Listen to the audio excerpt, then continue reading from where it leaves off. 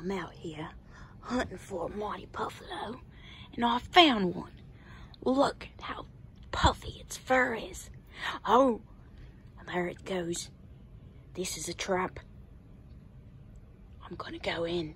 I'm gonna touch it. Oh my god, its fur is so soft you can get your fingers stuck in it. It's a trap.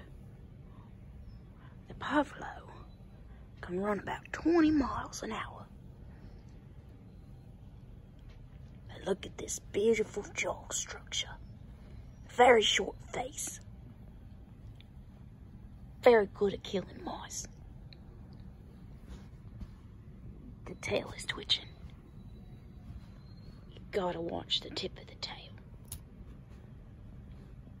And these claws, they're made for killing.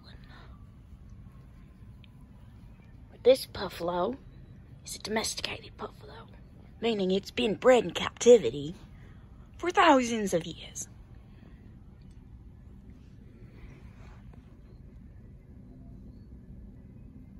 I don't think he's amused.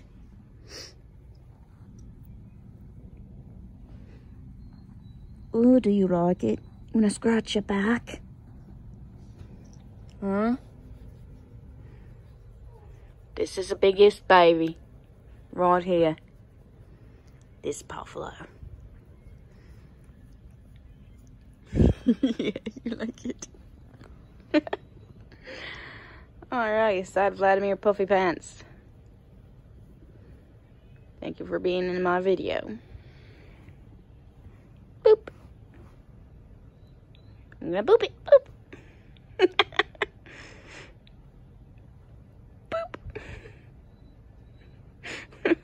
Flash makes you look evil.